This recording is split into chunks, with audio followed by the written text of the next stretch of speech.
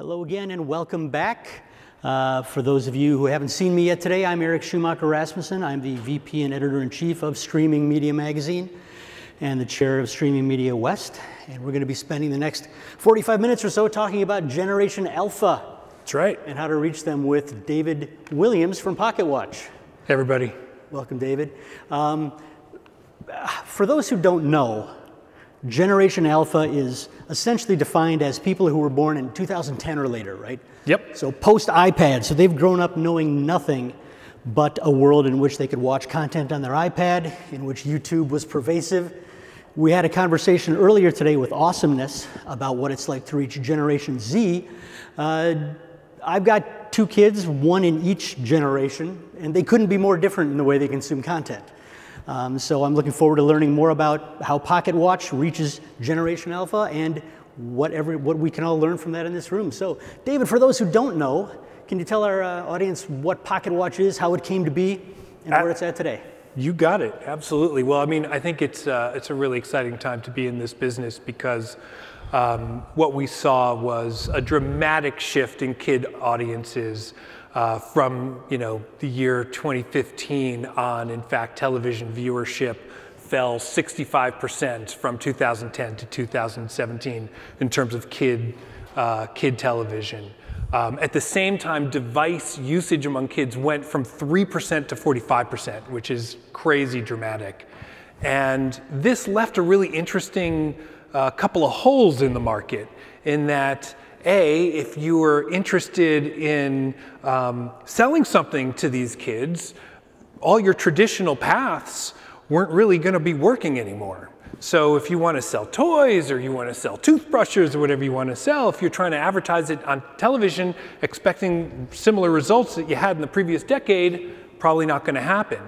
And even more importantly, what we saw was with kids, they've got this incredible enthusiasm for these native creators on platforms like YouTube.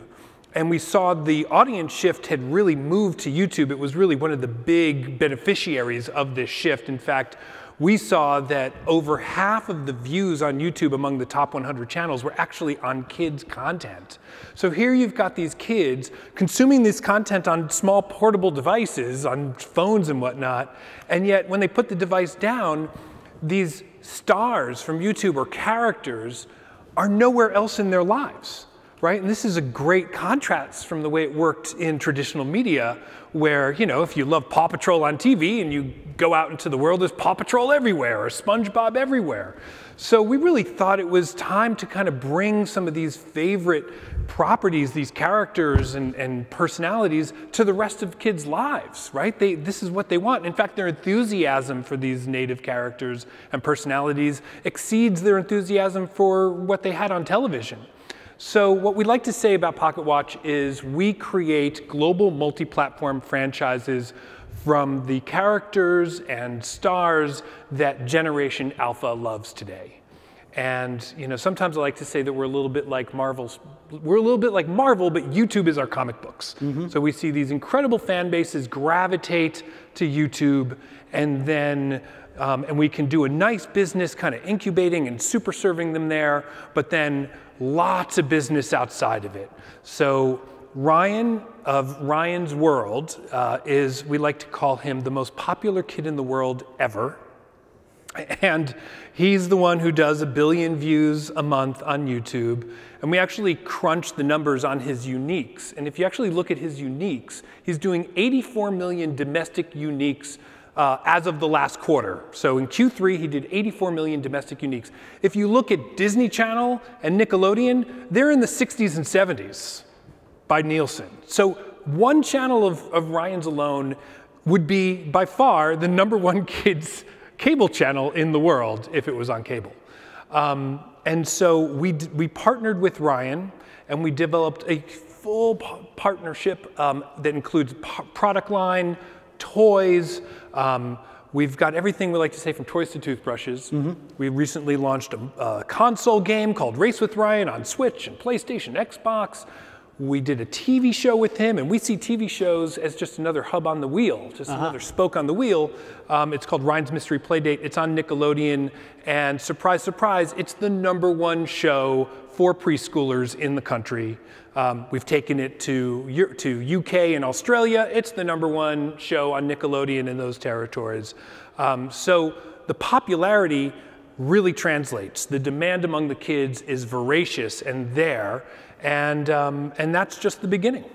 So uh, you said that in some ways, if if you're like Marvel, then YouTube is your comic book, right? Yep. Why do you think it is that kids, you know, you, may, you also mentioned that, that kids are more enthusiastic about these stars, these characters, and I thought it was interesting you called them characters too, because Well, some of them are, of are, right? some of them are. Right. Um, why do you think their enthusiasm for these stars and characters that they meet on YouTube is even greater than they have for the, the ones that are native to Nickelodeon or native to Disney Channel? You know, it's a it's a great question, and I, I think you know a lot of us ponder it, and you know I'm sure a lot of us have ideas about it. Um, I really believe that this is this is really an amazing revolution in that with the democratization of video, for the first time in history, we basically have kids making or participating in the making of their own content. Right. It's kind of insane. And this is content that no, you know, we like to say no grown up would ever, you know, come up with this stuff. And I think there is something to that, you know, it's such an abused word, but that authenticity mm-hmm. that comes across. And even more importantly, I think in that, the context of that authenticity of sort of kids and families making their own content, there is a connection with these kids that happens that is much more akin to a friendship. It feels like part of a social network, um, even though kids wouldn't use that terminology, than it does um, a media property, you know, that kind of comes down from the mountain. And I think that kind of like, you know, the kids think of Ryan as his as their friend Right. and they they develop what feels I think like a friend a friendly intimate relationship with him and the other stars EvanTube Hobby Kids the others that we work with and many others on the platforms I think that's a big part of it Right, right.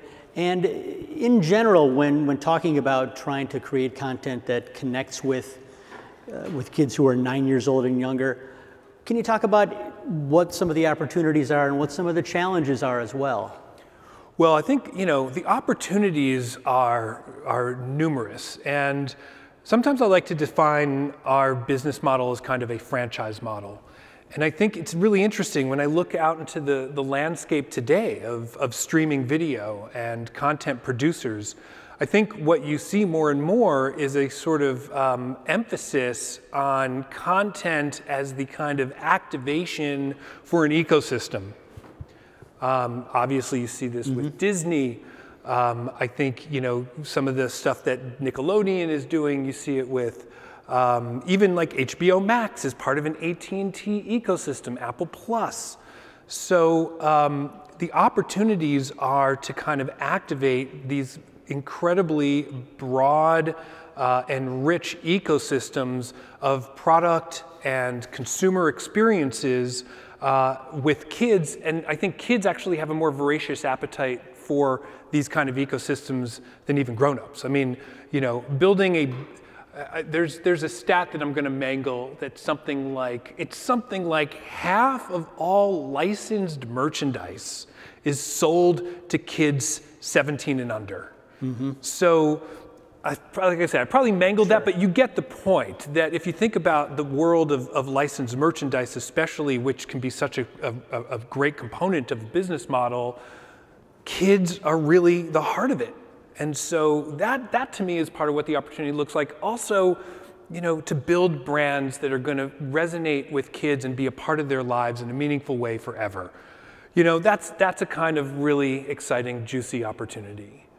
Um, on the challenges side of the equation, uh, you know, they're almost commensurate. Right?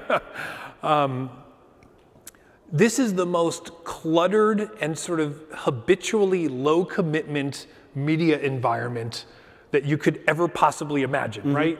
I mean, you've seen your kids Right. on the iPad, and if something is not holding their attention for even a moment, you know, they're only one one tap deep, and they're one tap from something else. And I think crafting content that is going to first break through that clutter to hook an audience in the first mm-hmm. place is an immense challenge, and then hold them and create loyalty and enthusiasm from there is a huge part of the challenge because you lose, you know, you, you go soft for a second and they're gone. Um, so figuring out strategies to combat that clutter and low commitment, I think, is one of the sort of highest hills to climb. Okay. And you know, our our go-to number one strategy is to partner with the geniuses who are the eight-year-old kids Right. Right. Right. who have made it all work. Right. Um, we were talking last week as we prepped for this conversation about how, you know, historically, kids' television has been very highly segmented from the rest of the television world. It used to be Saturday morning and then after school, and then that was it. And it was also very, very clearly delineated that this is a show for little kids, preschoolers. This is a show for elementary schoolers. Um, we were talking just a moment ago, though, about how that's not actually how kids watch TV, right? I've got a 10 year old and he loves Marvel, he loves Fortnite. But every once in a while, I still catch him watching an old episode of Bubble Guppies or, uh, you know, something, something a little kiddish. You know, not when his friends are around, but um, Yeah. so, and again, I guess, you know, not to, not to say opportunities and challenges again, but I imagine that brings with it both opportunities and challenges. How do you and your creators negotiate that world where things aren't so clearly defined?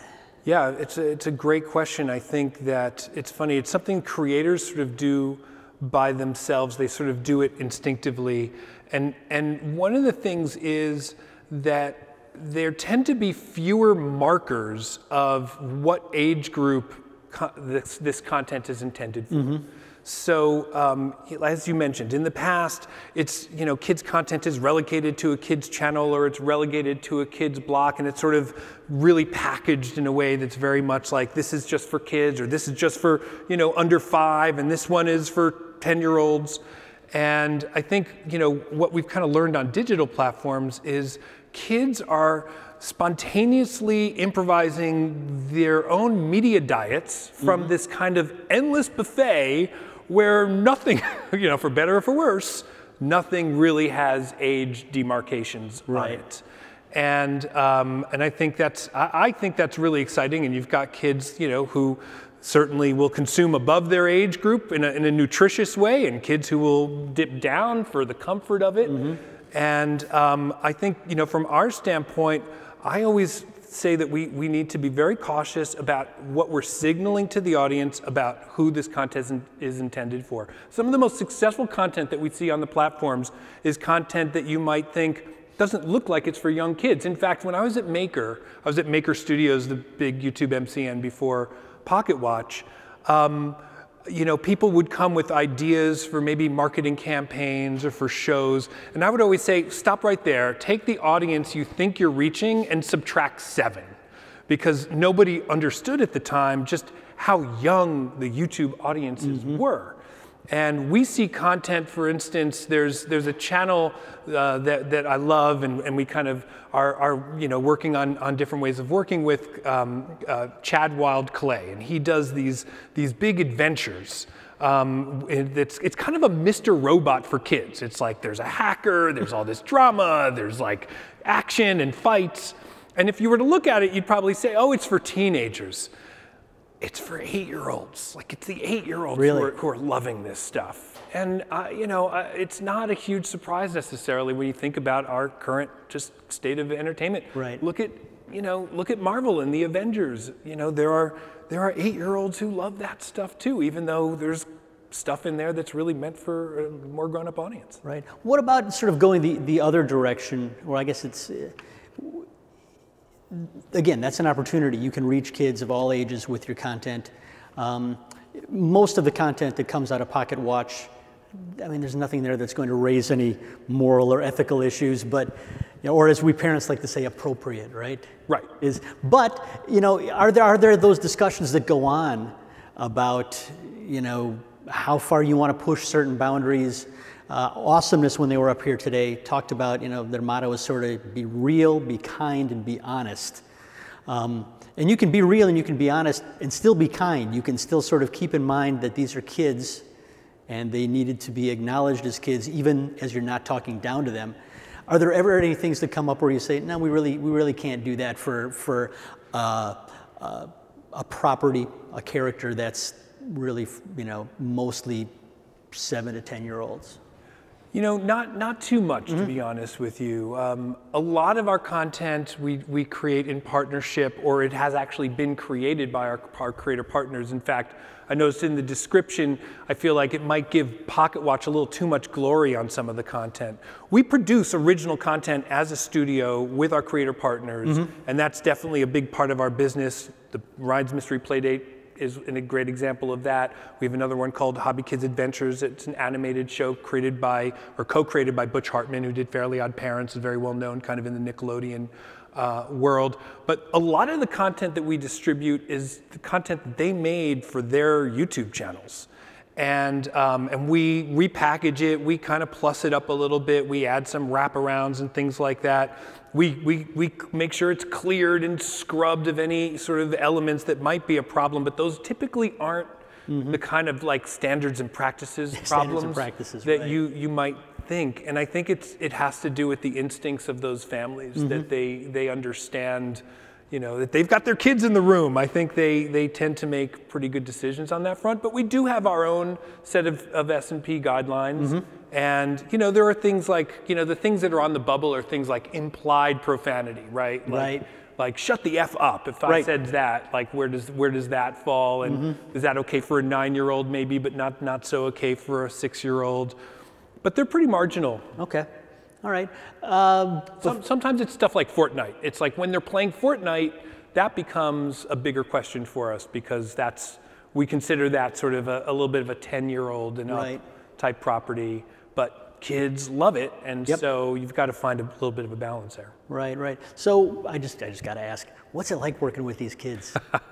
and what's it like working with their parents, I guess, too, as well? Yeah. Um, I mean, look, First of all, we're really lucky, and I mean, we, we worked really hard to find good partners, and we have a very diligent vetting process and to make sure we have shared values as, long, as well as business goals and, and whatnot, and I think that, that helps. Mm-hmm. Um, so it's, it's generally great. That said, uh, you know, sometimes when we talk about Ryan's World as an example, we talk about how, how Pocket Watch is a little bit like the Disney to their Pixar right? Like our greatest strengths, honestly, are probably around the machine part of franchise building. Mm-hmm. Um, we, we love our Ryan's Mystery Playdate show, and you know we, we think Albie Hecht, who came from Nickelodeon, was the president of Nickelodeon for SpongeBob and Kids' Choice and Dora, is a genius and is doing great work. Um, but you know uh, this content is, is coming is coming from the kids. Um, and, uh, and what, was, what was the question again? What's it like working with these kids? Oh, what's it like their, working with their parents? Them? Yeah, and so, um, so when they come to the table, you know, they're kind of primed to, to work with us in a really positive way. Mm-hmm. And um, we, you know, try to give them a lot of, a lot of, a lot of leash and, uh, and just try to give them some broad direction. Okay. Um, but I will say that uh, YouTube creators have an incredible sense of entrepreneurial spirit mm-hmm. and independence, and they've pulled themselves up by the bootstraps and they've done it themselves. And um, you know that is something that it takes some effort to learn how to collaborate with, to be honest, right? right. Like they've done everything themselves. They've done it in, in a trench in a lot of ways, mm-hmm. right? They've been in, a, in, a, in their own groove. They haven't poked their head up. They don't really know what, how the rest of the entertainment business works. And so there's just a lot of, of discussions around like what the dynamics of, of this industry are, how this works, you know, what the runways look like. And these are often very foreign to, you know, people who've made their empires from their living rooms. Right, right. Uh, another thing we were talking about last week as we prepared was how um, YouTube and you know what still sometimes gets called user-generated content um, is still sort of treated as, as inferior to the Disney Plus, the, the blockbuster Marvel, Star Wars, Netflix content. Um, you know, even at a conference like this, perhaps especially at a conference like this, when you know you've got HBO Max talking, you've got Amazon Prime. Um, however, you just shared those numbers earlier for the kind of views that Ryan gets. Your other properties don't get quite those views, but they get views that I think, frankly, would be really surprising to a lot of people. I, I, and so, no doubt. so there's there's the question of treating this this content um, with the same seriousness from a business standpoint, but also the content itself is somehow and still sometimes seen as inferior to professionally produced Hollywood content. Do you think that's changing? Slowly. Okay. Um, I think we all come to new content forms with, uh, you know, a foundation of content experiences that we sort of judge them against. Mm-hmm. And I think you see that kind of generation after generation. I've made the, you know, the analog to, to comic books. Well, comic books were thought of as trash for you know decades, and now you know you can't put a movie into theaters unless it came mm-hmm. from a comic book.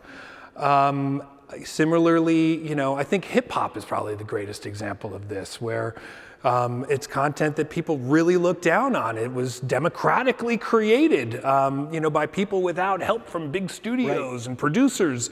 Uh, and somehow it was inferior. And, and now we look at it today and it's truly high art. It is the music art form of our time. And um, I think in a lot of ways that the content that, that, that these creators are making, look, it, there's a spectrum. Some of it's good, some of it's less good, some of it's more good. Um, but I think it's still painted with a really broad brush, and that brush is that it's, it's not as good as the stuff that you know, we made as, as, as an industry of seasoned professionals. Uh, and I think that that's honestly just short sighted. I think that there's tremendous, like, it's that intimacy, that authenticity, the realness, the relatableness of it, um, and even the story construction. I don't people think people give it enough credit for overcoming those, those problems of clutter and mm-hmm. low commitment that I talked about before. Well, these people are masters of it. And, and you know, surprise, I think as this industry continues to evolve, those problems of clutter and, and, and low commitment aren't going to get easier right, for right, anybody. Right. And so those skills and that craft of being able to understand how to break through and retain audiences is, is going to be greater than ever. So I think that it's they're unfairly maligned. I think that there also uh, are some presumptions about what's good for kids that I just I, I'm skeptical about. I just if the kids love I, there's no way to overstate how much the kids love these creators, how much they love Ryan. I mean, we had Dave Grohl from the Foo Fighters mm. on Ryan's Mystery Playdate. Really? Yeah. And it was, you know, all of the olds here were pretty excited about it. Um, you know, his daughter has met a you know the Beatles. she's, right. You know, she's been around roy- rock royalty, and Ryan was the ultimate, you know, sort of fan experience for her. Um, so there's really no way to kind of overstate how passionate the kids are. So to go in and then sort of, you know, kind of pop kids' balloon and say your content that you love is somehow inferior and not good, I just find it very presumptuous. Who knows what kids at this age are really needing developmentally? And who's to say that these models that they're seeing in this programming of, of happy families and, you know, how these happy families socialize and experience things, that this is somehow trash? Um, so I, I, think this content hasn't really seen its, its light of day in terms of the, the respect that it, it frankly deserves. Okay, so, so even though, for instance, you know, Ryan now has a series on Nickelodeon, um, you don't look at that as necessarily you know, that content stepping into something more respectable, right? Or better. Well, different. It's different, and it's different. from, from a yeah. business standpoint, I mean, let's be honest. Who are our business-to-business partners? I mean, mm-hmm. you know, they're they're older people, and so they've got really fond thoughts about Nickelodeon. That's what they grew up with, and right. so to have that kind of success with a brand like Nickelodeon in a, in a traditional medium that our business partners and our business prospects grew up with, it's amazing for business. Mm-hmm. Now, you know, whether that content has more merit than the content on Ryan's channels, I don't think so. I think it's apples to oranges. Right, right.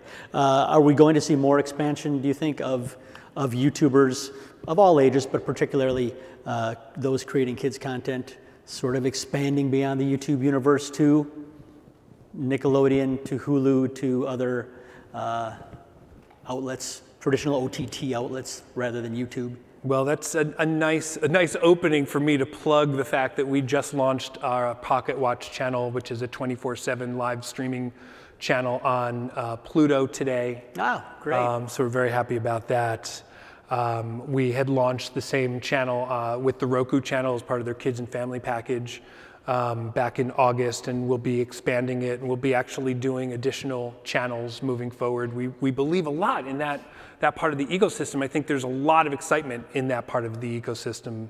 Um, and, um, you know, I think what's happening on YouTube, frankly, is continues to be highly dynamic, shall we say. Um, there's been um, some, some big changes and some big changes coming.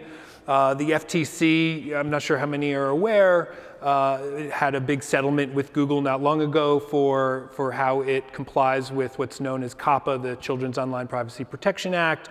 And as part of that settlement, there's going to be big changes to YouTube. And, and the bottom line is it's probably going to be much more difficult for, and I, I find this a little bit sad, but that for, for grassroots creators mm-hmm. in the kid space to succeed. Um, I think people who are established, will succeed and continue to succeed, but to kind of break in and, and, to sort of have the opportunity that they may have had a year or two ago, uh, it's, it's a different kind of opportunity and it's going to be tougher.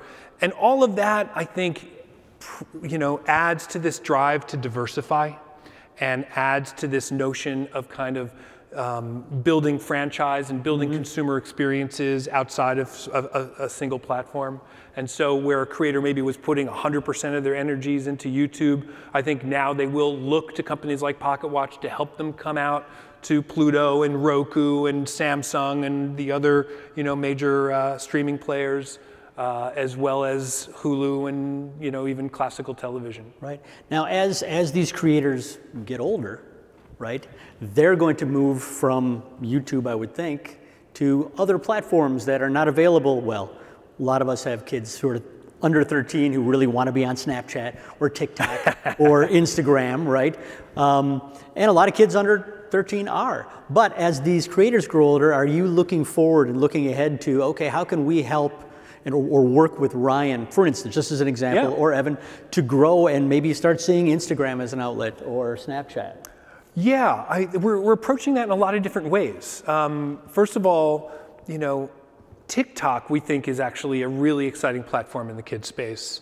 Um, it's been growing like mad. It, I think it offers a little bit of that democratic opportunity that maybe uh, is, is going to be um, declining a little bit over at YouTube. Mm-hmm. Um, it's immensely creative. So we, we think that there's a big opportunity on, on TikTok. We think these things kind of live in harmony, frankly. Right. Like, sometimes we've used a clock metaphor to discuss content strategy where things like TikTok and Instagram are a second hand in terms of being very high frequency, uh, kind of low stakes content. And then you move up to YouTube as your minute hand, where there's actually a library of content that you can create on YouTube. And the library will keep on giving. It doesn't matter if it's you know, a week old or a month old or a year old or even a few years old um, that catalog keeps on giving. And then you've got kind of the, the hour hand, which would be sort of features and other big high premium content. So we think it's really important for it all to work together.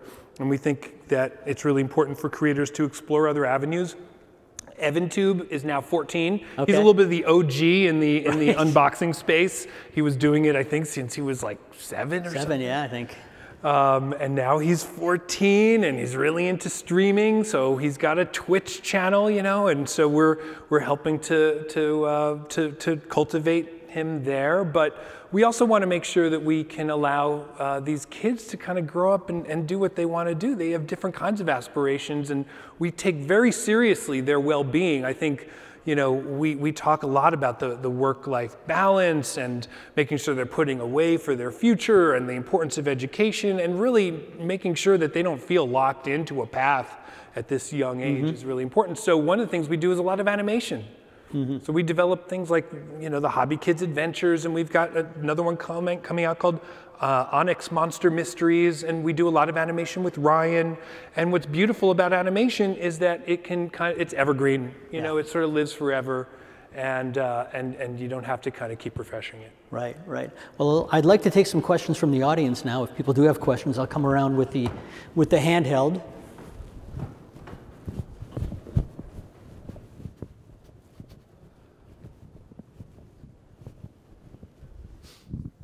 Hello. Hello. So, my question has to do with the balance of the nag factor of the kids driving what they want, um, but also with the gatekeeper of parent, particularly with licensing. The kids aren't going to be doing the actual purchasing, right? It has to pretty much be mom and dad, or you get yep. slapped for marketing to kids under 17 online.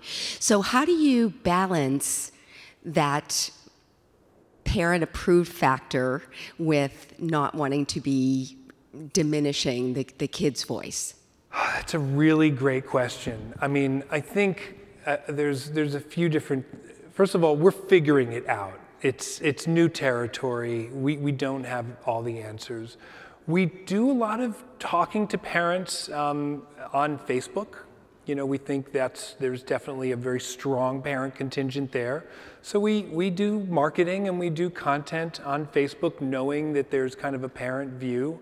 Um, we haven't done this yet, but we, we, we're very eager to engage in a conversation with parents about a lot of the topics that I think are on their minds about sort of balance in their own lives and you know how do you balance we, we like to say that we inspire a cycle of screen time to play time and back again. And you know we see that happen uh, all over the place. Like I think if you have kids at home it's not uncommon you know when the screen goes off they kind of want to go do what they just saw on the screen and we want to go and cultivate those conversations and, and places like Facebook are a good way to do it. Um, but truthfully, um, you know, you probably don't want to hear this, but we want the kids to nag their parents. so we, we, we do things that help create desire among the kids for, for it doesn't take much.